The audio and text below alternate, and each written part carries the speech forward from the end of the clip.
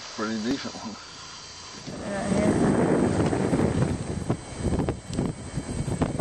Have we seen other outcrops of these here? Charles Mason, uh, professor at Morehead State University. And with me I have a, uh, I should say, former student now, Megan Ennis. Uh, she graduates today uh, from Morehead State, and she's going to be attending the University of Tennessee uh, to continue her education. Uh, currently, we're on Devon Island at uh, the HMP, or Haughton Mars project. Uh, uh, we're just out from the base camp, which you can see here on the map. Uh, currently, we're right here this point on the map. we're about a kilometer or so away. what you see is a map that Megan and I have been working on uh, it's a map to map the geology a little more in detail than the current maps that are available.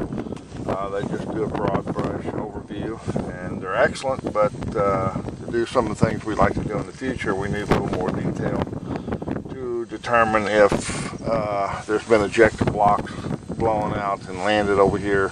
And if we know the detailed geology, we'd recognize that this particular block is not in place and that sort of thing. So that's kind of why we're doing it. We're starting at the base camp and working out. We're kind of uh, doing it from scratch. It takes a.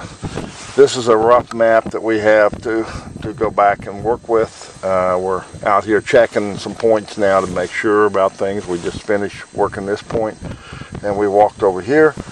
Uh, besides doing the general geology uh, one of the things we're looking for are specimens, uh, fossils, and other things found in the region. Uh, you know, you can look, like here by Megan, for example, is a uh, stromatoporoid uh, that we find is related to sponges. Uh, here is part of a chain coral, another stromatoporoid, stromatoporoid, stromatoporoid. Uh, on the point here, see a large uh, coral colony uh, right here. Uh, this is Syringopora. It's a uh, colonial coral. And uh, we have large coral heads like that at this outcrop and other areas in the region.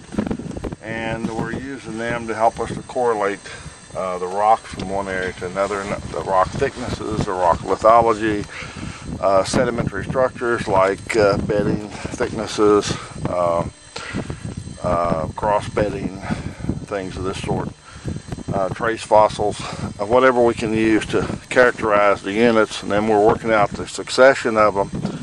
And Megan has that here. If you want to pick it up, Megan, show.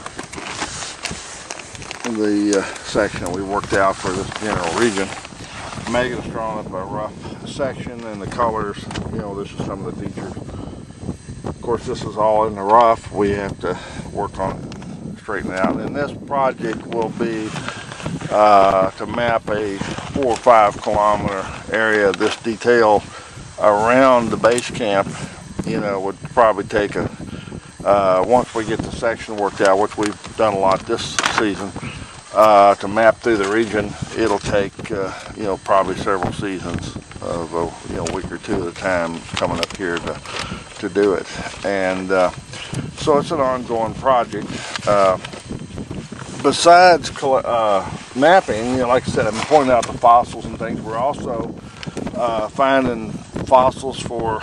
we're planning to develop a little museum, so when people come to visit HMP base camp they can walk into the core or wherever they're going to put the cabinet and they can look and readily identify what they're seeing out in the field.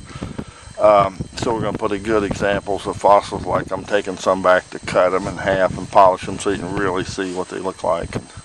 Better, uh, the uh, and the third thing that we're doing is we're locating places like this where we can bring people out. We're going to develop a field guidebook so people coming here can take ATVs and come out and go to the different stops and get a good cross-sectional view of uh, things like this would be an excellent stop one we picked to show fossils. you know, we don't collect these. We leave them and for people to see. And the outcrop, you know, they're sticking out all over here. This is a really good fossiliferous point. Uh, there's other large coral heads around the corner here in the same locality.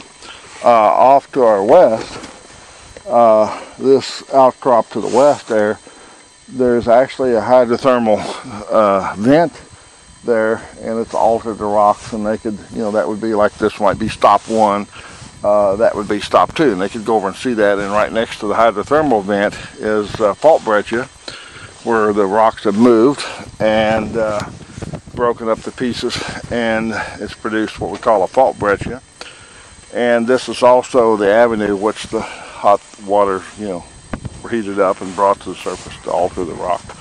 So that kind of thing. So we have right here in this vicinity two really excellent stops to see some very uh, important features that we find here at HMP.